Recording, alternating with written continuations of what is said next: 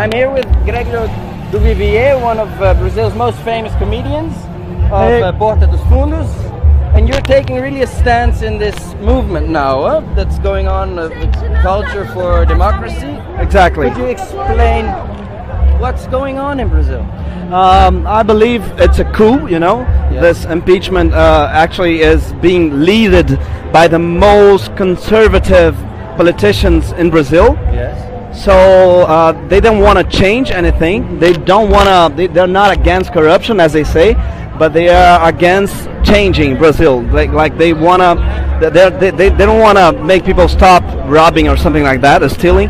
But they want to make people. Hey, uh, they want to make. They want to uh, continue like stealing from the people and approving uh, laws, conservative laws. What what they want is to. It's the elite you know, and they want to remain elite. They want to share, like it's like it's the one percent actually. Yes. That's leading the so-called impeachment And the media also. and the media exactly.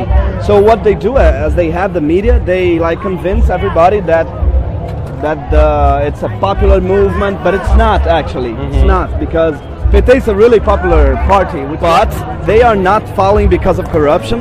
They are falling because they are left-sided. You know, that's that's why they are uh, falling. That's why they're having a coup. And, and uh, something specifically that I found interesting um, with Porta dos Fundos, you guys have a lot of uh, success in Brazil, and uh, it seems like you recently made a bit of a switch. Before, you always tried to make timeless humor, and just recently you made a, a, a skit Yeah. that became very politicized. I wondered um, your reaction to what happened, the dislike uh, Yeah, action, yeah. and if this has made a change in Porta dos Fundos. Yeah, it's really hard to make humor now because of that. Because we're always uh, we have to talk about what's happening now. It's really important Yes. because so we can't do like universal humor. No, now we have to be political. This is a point not to stay Exactly. silent. Exactly.